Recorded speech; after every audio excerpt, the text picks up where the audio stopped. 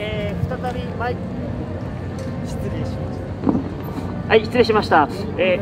ー、再びマイク回ってきました、えー、よろしくお願いいたします、えー、君の会と申します、えー、そう寒くなってきたんで上着ようかどうか迷ってるんですがもうこのマイク持ってる間だけは我慢しようと思います。さて、えー、今回今度の話題はですね、えー、皆さん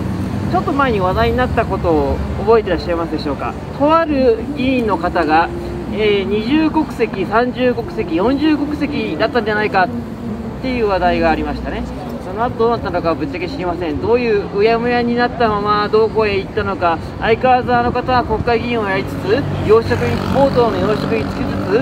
つ、そして、えー、与党を批判していらっしゃるようですが、はい、何をやっていたいのか、果たして何がしたいのか、果たしてこの国をどうしたいのか、いやこの国を滅ぼしたい以外はないんだろうなと思うあの方ですが、まあ、それはいいとして。その国籍の話です、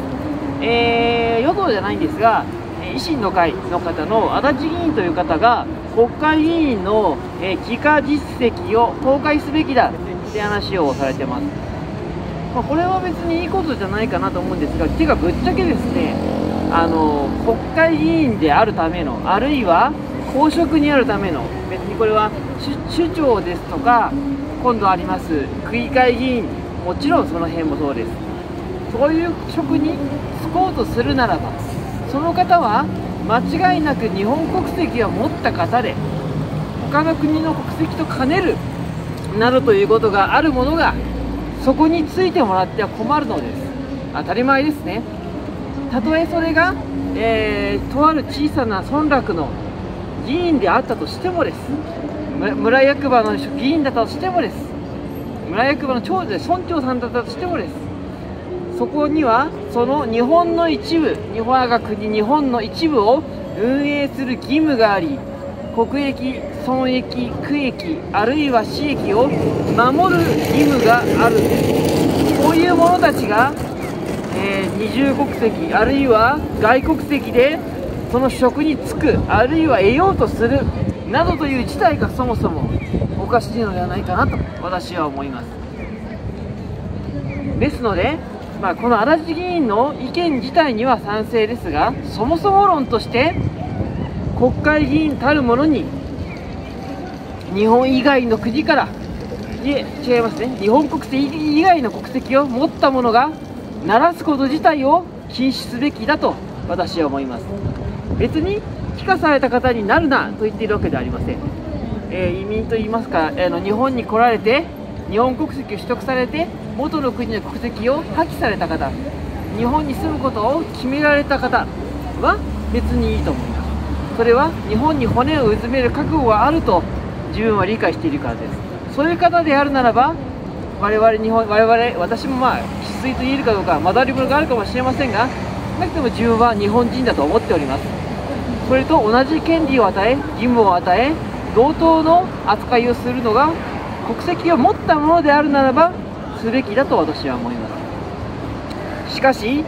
そこに、えー、二重国籍あるいは日本国籍を取得していない状態にあるものを何度も言いますがそういう状態にあるものを二重国籍にあるものをあるいは外国籍にあるものを日本の公職議員職市長職につかせてはなりません、えー、そうですね。もうすぐ統一地方選がございます。別に皆さんその議員さんの立候補された議員さんの経歴を洗い出せと言っているわけではありません。ですがそういう目で見ていただきたい。少なくても大っぴらにとある国から来ました。日本に住んでよかったです。あるいは日本国籍をいついつ取得したけど故郷の国籍は捨ててません。なんて恥ずかしげもなく言うような輩に議席を持たせるなどということが許されていいわけがありません。ぜひとも皆さんそういう人間には投票しないとさせない。あるいは通さないように周囲に気を配る。くらいのことはしてもいいんじゃないかと思います、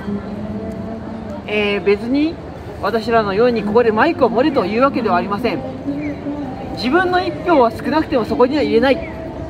それだけでも大いに変わるはずです。なぜならば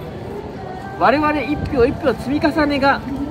我々1票1票です。私だってこんな話してますけど持ってるのは1票に過ぎません。その1票の積み重ねが彼らの議席になるわけですからその議席を剥奪するためにあるいは職を剥奪するためにあえて強く言います。剥奪です。そのためには我々一人一人が興味を持ち投票行動あるいは普段の生活の中で少しだけ厳しい目で彼らの言動を見ればいいのではないかなと思います。ただ、えー、日本国民であって議員職にいる人であったとしてもそれが必ず国益にそぐなって国益に尽くすというわけではないこともこれはまた残念ながら事実であります、えー、有名どころで言えば、えー、某とあるそうですね H 元首相ですとか S 現在の委員長様ですとかそういう方たちのように明らかに国益を損なう言動をしている者たち。これもまた排除すべきです。先ほど申しました、えー、国籍は国籍の条項はそもそもルールにすべきだと私は思いますがそうじゃない者たちは、えー、我々有権者が能動的に弾く以外にやりようがありません。ですのでルールにするのがまず第一義としてその次はちゃんと国益国益です。国益を細分化していったのが我々一人一人の利益になるはずです。まずは国益を稼ぐあるいは増大させる守る